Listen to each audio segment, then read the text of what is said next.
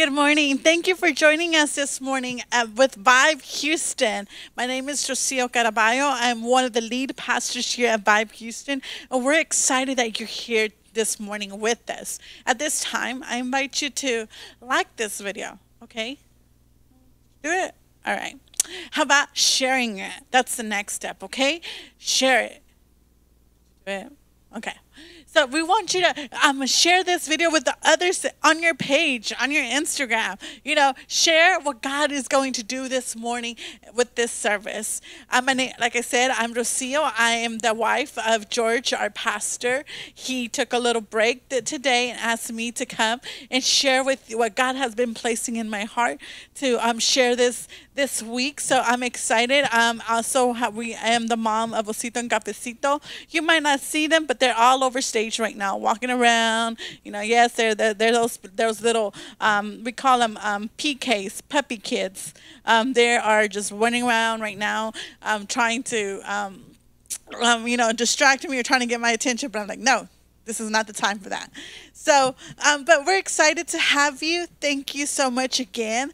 Um, at this time, I love the worship song that we just ended, you know, because it is what I want to share about today God's faithfulness. I know that um, these past two months have been crazy, right? The, with everything that's going on, the coronavirus, Rona is just changing things up, is messing up our plans.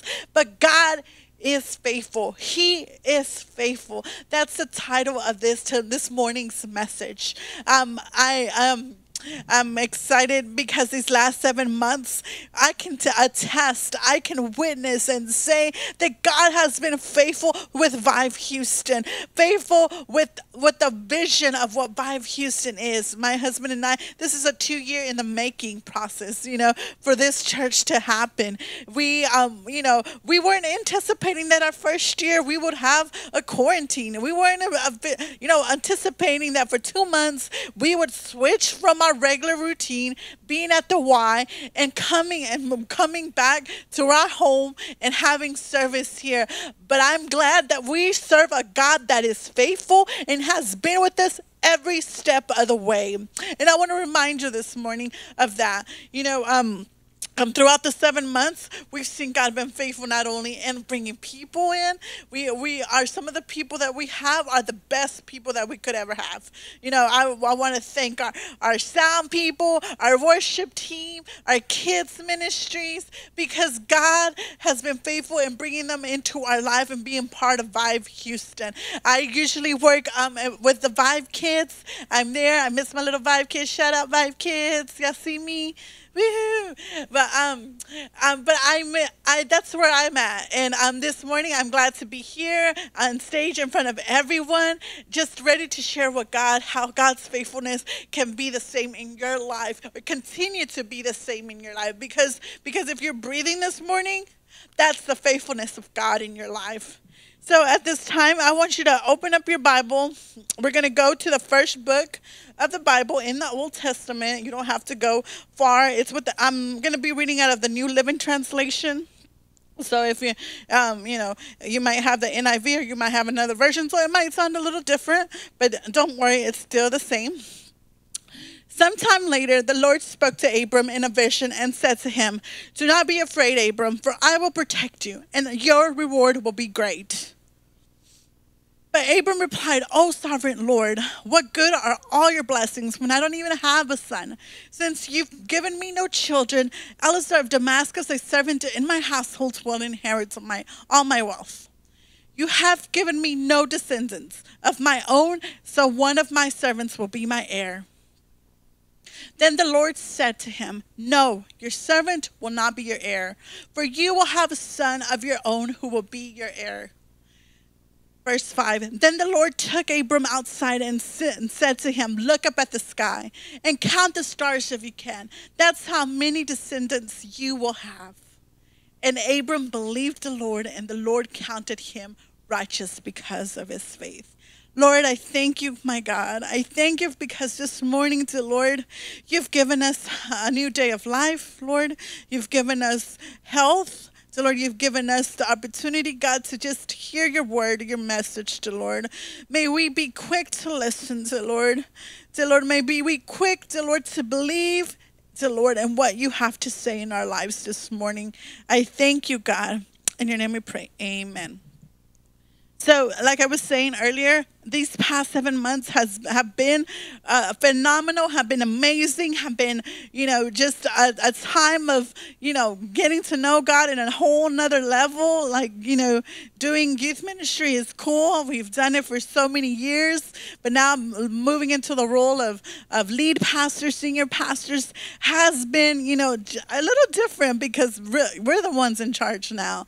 You know, if things happen, if they don't happen, guess what? It's our responsibility but in all of that, we have seen God's hand. We have seen God's faithfulness in our lives. And here we look at, at Abram. We look at this man of God that um, we, we go back a couple of chapters in chapter 12, the initial calling of God over Abram's life. And one of the things to look at is that, man, Abram was a, a listener. How many listeners do we have? If you say, um, you can you can say, you can comment there, say amen. You can put a little hand, you know, you can do your little avatar. Uh, who has a little avatar? Yes, you do? Okay, so that's a new thing right now on Facebook, the avatar.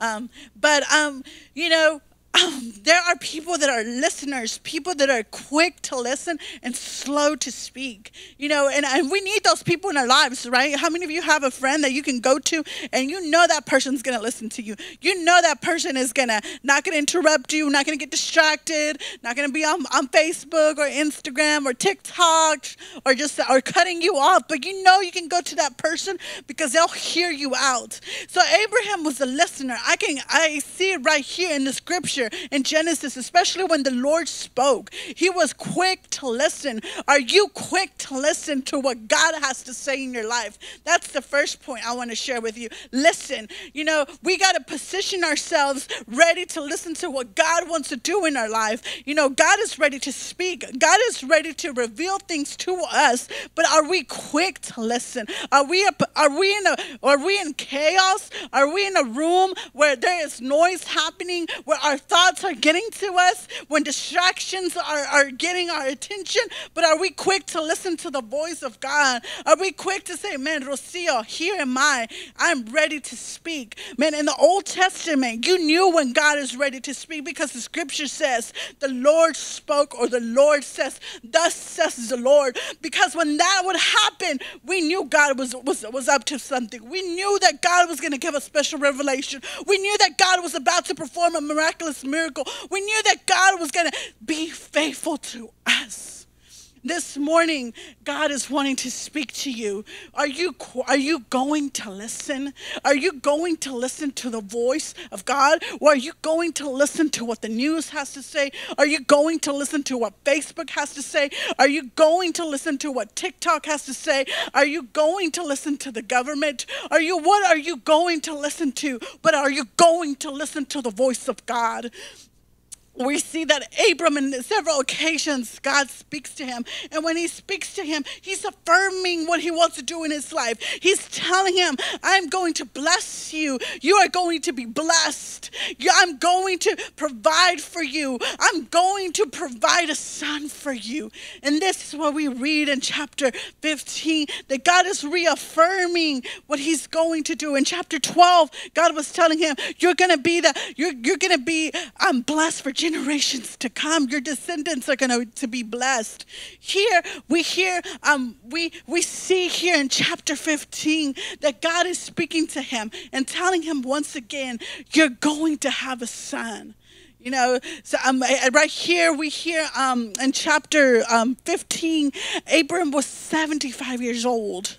You know, for a man, yes, he. I'm sure he can still, you know, produce a, a, a child. But for a woman, his wife Sarah, she was as well older. I don't know if that's, uh, you know, I don't know that could be, but not could.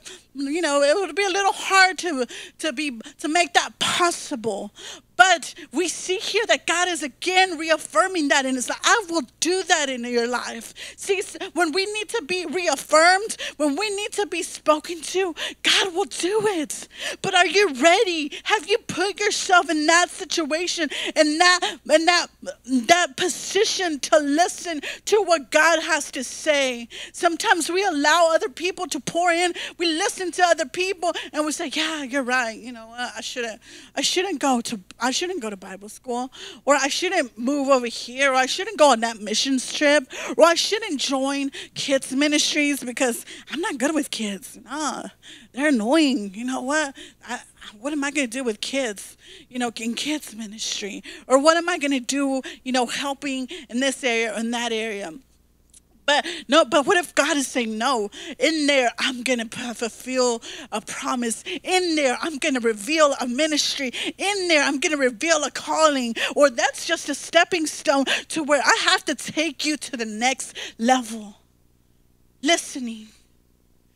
Have to listen, church. We have to listen to the voice of God. We have we need the voice of God to, to, to direct us where we need to go. We need the voice of God to convict us. We need the voice of God to remind us or to speak promises and miracles into our life. May we be quick to listen.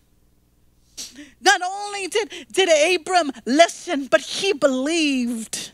He believed what God has, was speaking into his life. Sometimes we, you know, man, I, you know, sometimes God wants to tells us, "Oh, I'll take you from nation to nation. Well, I'll take you to places you could never imagine before." And sometimes we're like, "Nah, God, I'm just, you know, I'm just a simple girl from Tyler, Texas." Some people don't even know where Tyler's at. You know, where you? Why? Why would you take me somewhere? I don't think you're capable of doing it. Sometimes we put a limit to God, what God wants to do in our lives. You know, if I would have done that, I wouldn't have gone to the places where He has taken me. I wouldn't be in the ministries that God had, had put me in. If I would have listened, if I would have doubted what God was going to do in my life. Believe, believe it, that God is able to take you out of this quarantine on top. I know these last two months have been crazy. Man, this Rona ain't no joke. You know, for the last two months, we've been, oh man, uh, maybe you've been getting to know your spouse a little too much, and you're like, I need a break it's, this is it. I don't know. I don't know. You know, we're we're about to, you know, kick each other out of the house, the room. You know, you know, live working from home has been an experience like no other, right, guys? Uh, yeah, I, I for I can't do work from home. I've tried it. That's it. That's it. My job requires me to be to see, you know, people. To, I need to see people. But thank God I have a job. You know what? Thank God that I have a job. You know, at the end of the day, I'm glad that I have that. You know, but believing what God is able to do. You know, and through this, oh, we still have to hold on to the promises that God has spoken over our lives. You know, the promises that He's only spoken to you. Yes, there's a promise that He's always going to be there for you, He's always going to provide for you. But then there's those promises that He has specifically spoken into your life. Man, some of you are still wondering where where's that career gonna come? Or man, you, you might have like, man, you had your career and you know because of what's going on, this this un, un, undisturbed, you know, this chaos Maybe you you've lost your career and you're just like, man, God, I finally made it, and look what happened. But may we believe that God is still in control. May we believe that God is still doing and working on our behalf. That there's still greater things to come that this Rona does not have control of us, that this Rona does not dictate who we are, but that we know that God of the greatest high, God of Abram, is able to do more than enough for our lives. I'm believing that there's promises that I'm still waiting for. Man, what God when God spoke to Abram, he was 75 years old. He was 75 years old, an older man, you know, probably ready. And this, and this point in age, you're retired, you're ready to go, man. Where where can I go travel? Or you know, do I need to join the golf course? Do I, what do I need to do? Do I need to go? For me, it probably be like let me let me finally get to get to know how to sew, you know, crochet or something. But at 75 years old that's that's I'm just like I'm I ain't got time for kids. I ain't got time for that. You know, I, that that ain't me no more. I don't have the energy. But he chose to believe God. He didn't put any exemptions. He didn't say no, this, that, but he chose to believe. Even, even in the next chapter, we read that Sarah stuck her little hand, you know, kind of went, no, I'm gonna, I'm gonna take, I'm gonna take action. I'm gonna do my own thing, you know. God is taking too long. He is taking too long. On my timeline, he's, he's not there yet. So she came in and did what she wanted to, you know, and made it happen. You know, he said he gave, um, you know, Abram, here's my servant. You take her, you know, get her pregnant, and that's how that's how God's going to fulfill His promise in our lives. And sometimes we want to make those promises come a reality at that time. But not is, it's not on our time, it's on God's time. Because when it's on God's time, He aligns things, He puts things right like they should. And that's what God, I want to tell you that. Man, believe God. Believe God in His timing. Believe that in His timing, it will come to action, it will come to happen that through it through that journey god is still going to be with you. He's still going to be faithful. Even when you feel like he's totally silent in the silence we rely on the power of this holy spirit and the power of the holy spirit that reaffirms our faith that keeps encouraging empowering us to believe. Man number 3 be we saw Abram faithful, even though he took action, even though he, you know, he allowed Sarah to do, to come and, and make, you know, her own thing happen. Through it all, God was faithful. He was he didn't say, okay, I'm not going to make it happen no more. No. God was still there with him. God was still there with him reaffirming what he was going to do in the life of, of Abram and Sarah. Because we look at, at God's faithfulness, we look at God and Abram's faithfulness and all. We see that it took 25 years for that promise to come and to uh, become a reality. 25 years. Some of us, we're waiting on something that God has spoken to us Maybe it was last week, maybe it was a year ago. And we're, we're becoming so impatient. We're like, God, I need it to happen now. I need it to happen now. But what if God is like, no, I, I, I need you to wait. I need you to wait. Please, please wait. I know what I spoke. I know what I said. I know what I declared over your life. But I just need you to hold on just a moment, okay? Because I'm still working. I'm, it's still going to happen. But I just need you to hold on. Today, church, I encourage you to keep holding. Some of you are praying for salvation with loved ones. Some of you are praying for miracles. Some of you are praying for healing. Some of you are praying for children. Some of you are praying for a home, a career, your finances. This morning, I want to tell you keep holding on. Remain faithful to what God has spoken to you, what God wants to do in your life. He has not forgotten. Our God is not a forgetful God, our God is a faithful God. And He wants, He is going to make it happen. You just need to continue to be God, I know that it's been five years. I know that it's been 10 years, Lord, but you have spoken over me. You have declared this over my life, and I will continue to be faithful. I will continue to hold on. And there's promises that I'm believing. And sometimes I do get impatient. Sometimes I do say, "Oh, but when is it going to happen? God, I, you know, I'm I'm this age already. I should be doing this, this, this, this." Worry, it's going to happen. Just remain faithful. Just hold on. He is faithful, church. Can I get an amen? Can I say, can I get a little clap? Can I get a, a, um, a, a shout? Can I, can I say yes, yes, right there in the comments? God is faithful. He is faithful. There's a purpose in your life. If God has called you to do something, He's going to make it happen. Just remain he is faithful. If there's if there's something that you need to, if of all of all of this that I've said this morning, you want to take, He is faithful. You know, if you ever need someone to pray for you, we're here. We're here to support you. We're here to encourage you. We're here to remind you that He is faithful talked this morning about, you know, uh, about listening, being positioned to listen to what God wants to say. Make sure you're positioned to listen.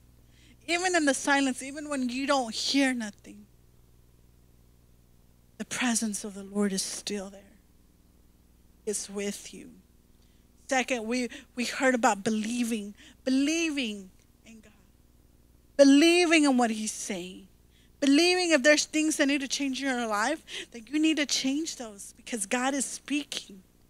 If there's things that God is declaring over your, over your life, believe that He's able to do that. Lastly, be faithful. Be faithful in what God wants to do in your life. Be faithful in believing what God is going to do. Faithful. If there's anything that's going on in your life, I'm going to be faithful.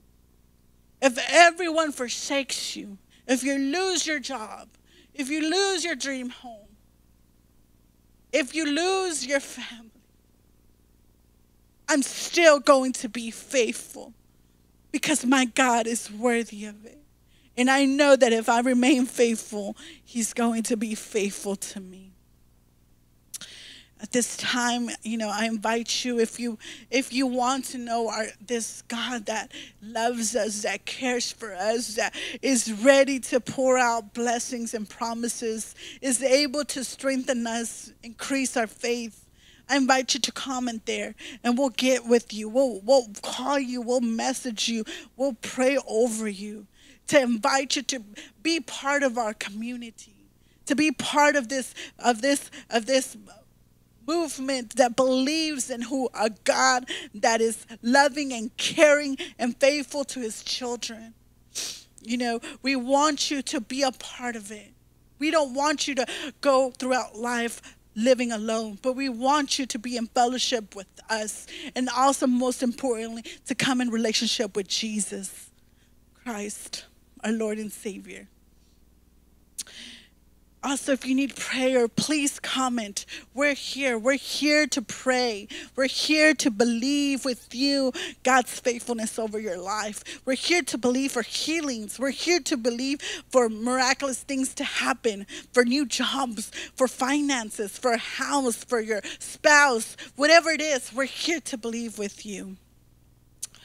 Dear Lord God, I thank you for this morning. I thank you, God, for the for the for your children that listen this morning, God.